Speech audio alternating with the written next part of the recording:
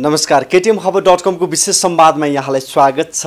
म श्याम कार्की र यति बेला पहिलो चरणको चुनाव सकिसके पश्चात धेरैमा मत परिणाम आउने क्रममा लगभग अन्तिम चरणमा रहेको छ र केही निर्वाचित भइसक्नु भएको छ र आज हामीले विशेष संवादलाई जोड्दैछौँ। निर्वाचित मेयर शङ्खरापुर नगरपालिकाको निर्वाचित मेयर हुनुहुन्छ सुवर्ण श्रेष्ठ र विशेष गरी यो शङ्खरापुर नगरपालिकामा केन्द्रित रहेर आजको विशेष संवादलाई हामीले जोड्दैछौँ। अब क्रममा उहाँसँग जोडिन्छौँ। यहाँलाई स्वागत छ। ए धन्यवाद। अब यहाँको कार्यकक्षमा हामीले कुराकानी गर्दैछौँ यहाँहरूसँग रहेर। के छ? अब कस्तो महसुस गर्दै हुनुहुन्छ? अब लगभग परिणाम आइसक्यो। अब कार्यकक्षमा आफ्नो जिम्मेवारीका कुराहरू आउलान्। अब यो सबै पाटोलाई हेर्दाखेरि कस्तो महसुस गर्दै हुनुहुन्छ? मैले यो अब शङ्करापुर नगरपालिकामा अब मेयर निर्वाचित भइसकेपछि मैले अनौठो खालको चाहिँ महसुस चाहिँ गरेको छैन। किन भन्दाखेरि म दुई हजार चौन्न सालको निर्वाचनमा गाविस अध्यक्ष भएर पनि मैले पाँच वर्ष कार्यकाल चलाइसकेको कारणले गर्दाखेरि अहिले जोस यो अहिलेको चाहिँ मैले निर्वाचनमा एउटा चाहिँ मेयरको पद पाएको छु। त्यसमा अहिले पहिलाको र अहिलेको चाहिँ काम गरे चाहिँ फरक छ। पहिला स्थानीय रूपमा चाहिँ गाविस नगरपालिका हुन्थ्यो भने अहिले चाहिँ स्थानीय सरकार रूपमा चाहिँ आएको छ। त्यसले गर्दाखेरि त्यति बेलाको र अहिलेको चाहिँ काम गरेमा फरक छ। त्यसले गर्दाखेरि पहिलाको चाहिँ जिम्मेवारी र अहिलेको जिम्मेवारीमा फरक भएको हुनाखेरि अलिकति चाहिँ यसले चाहिँ मैले एउटा ठुलो जिम्मेवारीको रूपमा चाहिँ मैले महसुस गरेको छु। गरेको छु। अब के छ? अब चुनाव जितिसक्नु भएको छ। अब एजेन्डाका कुराहरू आउलान्। जो एउटा नगरवासीहरूले यहाँलाई त्यो एउटा भारी मतले निर्वाचित गरिरहँदाखेरि अब त्यो एजेन्डाको कुरा व्यक्तित्वको कुराहरू आउलान्। अब त्यो पाटोमा पनि कुराकानी गरौँ न। यो अहिले जुन खालको चाहिँ निर्वाचनमा अब एउटा ठुलो कुरो भनेको जनताले खोज्ने भनेको एजेन्डा नै हो। त्यससँग त्यो चाहिँ सहायकको रूपमा चाहिँ मात्रै व्यक्ति जोड्ने हो। र हामीले एजेन्डाहरू हाम्रा प्रतिबद्धताहरू धेरै कुराहरू जनता बिचमा लगेका थियौँ। यहाँ हामीले गर्नुपर्ने कामहरू धेरै छन्। यसमा महत्त्वपूर्ण काम गर्नुपर्ने भनेको चाहिँ अहिले चाहिँ चुनौतीमा हामीले देखा परेको दुई हजार बहत्तर सालमा चाहिँ को भूकम्पले महाभूकम्पले शङ्खरापुर नगरपालिका छेद विच्छेद बनाएको छ। सबभन्दा चाहिँ घरहरू भत्किएको छैन। सरकारले त देखिरहेको छैन। र जनताको चाहिँ सबैको चाहिँ समस्या र हामीले पनि अहिले चाहिँ जिम्मेवार बोर्ड कहिले चाहिँ जनताको घरहरू निर्माण गरिने? र उनीहरूको चाहिँ छानामुनि उनीहरू लिएर आउने भन्ने चुनौती हामी बिचमा चाहिँ आएको छ। र ठुलो चाहिँ जिम्मेवारी र त्यसलाई चाहिँ हामीले चाहिँ महसुस गरेका छौँ। र हामीले जनताको बिचमा तपाईँहरूको जुन खालको चाहिँ समस्या छ जुन खालको मान्छेहरूले बास पाइरहेको छैन त्यो चाहिँ जिम्मेवारी चाहिँ हामी पुरा गर्छौँ भने हामी जनताको बिचमा बोलेका पनि छौँ। र हामीले अब ती कामहरू गर्नको लागि चाहिँ एउटा म निर्वाचित भएर आइसकेपछि मैले कामहरू पनि थाल्ने नि गरिसकेको छु त्यो बारेमा। अब हामीले हेर्न सक्छौँ देख्न सक्छौँ अब यहीँबाट पनि लगभग हराभरा शङ्खरापुर र काठमाडौँको एउटा उत्तरी भेगमा उत्तर पूर्वतिर रहेको यो शङ्खरापुर नगरपालिका अब आन्तरिक पर्यटनको हिसाबले पनि अब साँखु भनिसकेपछि धेरै कुराहरूमा जोडिन्छ। अब यी पाटोहरू सम्भावना चुनौतीका कुराहरू पनि गरौँ न। यहाँ अब तपाईँले सोधिहाल्नुभयो हामी कहाँ शङ्करापुर नगरपालिकामा एउटा सुगम र दुर्गम दुईवटा पाटोमा हेर्न सक्छौँ। सुगम ठाउँमा हामी एउटा चाहिँ ऐतिहासिक ऐतिहासिक एउटा वैभवशाली सहर साँखु छ। त्योभन्दा माथि दुर्गम ठाउँ भनेको हाम्रो नाङ्ग्रेबारी लक्ष्मीफेदी हाम्रो घुमारी चुक विशुम्बरा चाहिँ पालबारी यस्ता ठाउँहरू छन्। र ती ठाउँमा एकदमै हामीले चाहिँ सबभन्दा अहिले चाहिँ चाहिँ जङ्गलले ओगटेको क्षेत्र हामी हाम्रो सङ्ग्रामपुर नगरपालिका फेरि पर्छ। र त्यो ठाउँमा ती ती ठाउँबाट हेरिने एकदमै राम्रो राम्रो दृश्यहरू हाम्रो काठमाडौँ हेर्न सकिने। हामीले हिमालहरू हेर्न सकिने। त्यहाँको सनराइजहरू चाहिँ नगरकोटबाट चाहिँ हेर्ने सनराइज त्यहाँबाट फरक देखिने खालको र सबै कुरा चाहिँ त्यहाँबाट हेर्न सक्ने खालको हुनाले हामीले अहिले एउटा सुगमको लागि छुट्टै खालको विकासक्रमको चाहिँ अगाडि बढ्नुपर्ने र दुर्गम ठाउँको रूपमा चाहिँ एउटा पर्यटकको रूपमा चाहिँ अगाडि बढाउनु पर्ने। कारणले गर्दाखेरि हामीले यता चाहिँ मणिचुर जस्तो ठाउँ छ यता जर्सिङ पौवा काटिके भन्ज्याङ यता पटापको चाहिँ हाम्रो ढारापानीको देउरेली जस्तो ठाउँमा अनि अब त्यस्तो ठाउँमा चाहिँ हामीले चाहिँ पर्यटकको रूपमा चाहिँ विकास गर्न सकिन्छ कि भन्ने चाहिँ हामीले सोच बनाएको छौँ।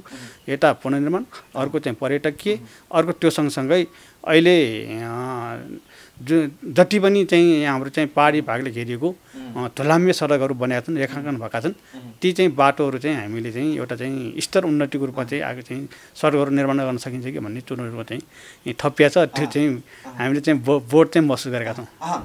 अब सुवर्ण श्रेष्ठ जो नेकपा एमालेको प्रतिनिधित्व गर्दै एउटा मेयर उम्मेदवार दिइरहँदाखेरि यहाँ मैदानमा रहँदाखेरि र सँगै अरू पार्टीका एजेन्डाहरू जो जन जनताहरूसँग अथवा नगरवासीहरूसँग पुगिरहँदा राम्रा सबै कुराहरूलाई यो समायोजन गर्दै सबै पाटोहरूमा चाहिँ अरू एजेन्डाहरू अथवा अरू पार्टीहरूलाई जोड्ने कुराहरूमा चाहिँ कसरी लिनुहुन्छ अब ती पाटोहरूमा पनि कुराकानी गरौँ न?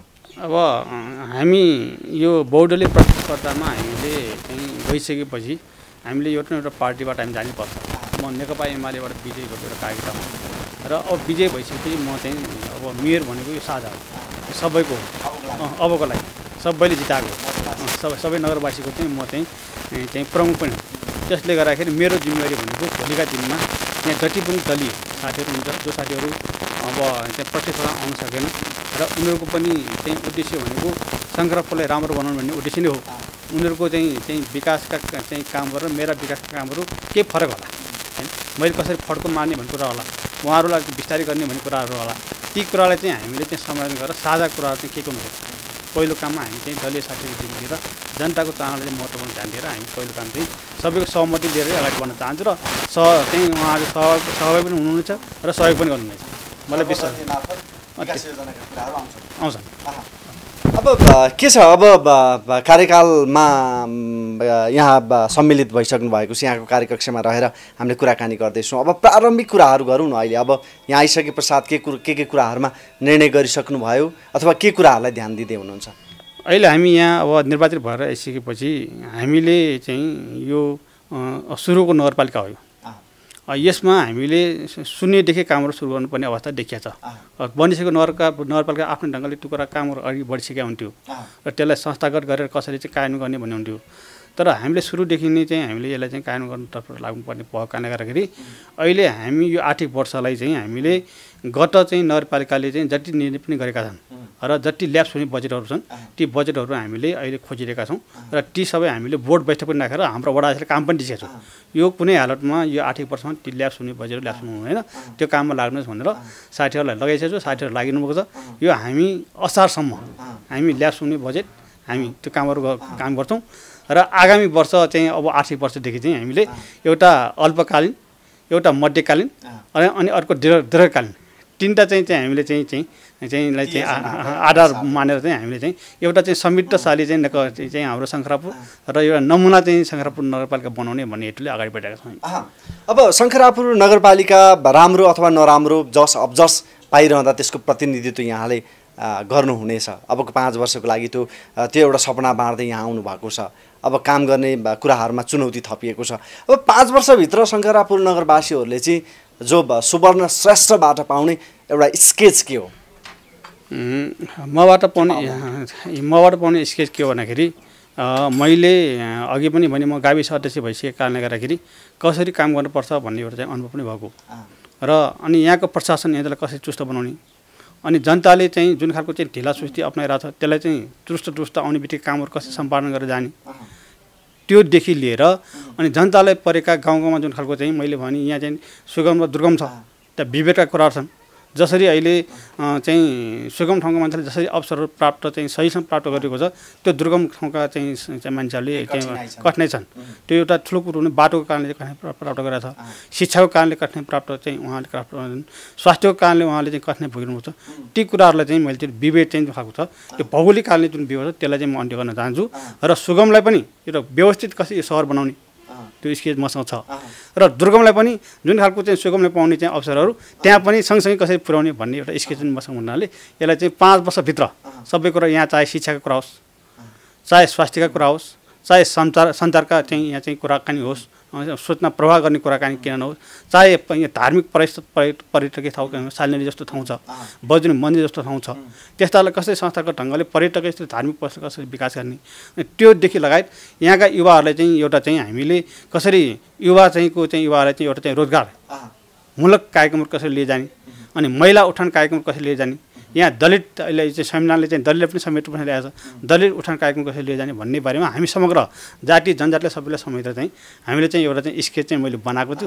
त्यो स्केच चाहिँ मलाई विश्वास छ पाँच वर्षसम्म त्यो पुरा गर्छु भन्ने चाहिँ मलाई विश्वास छ।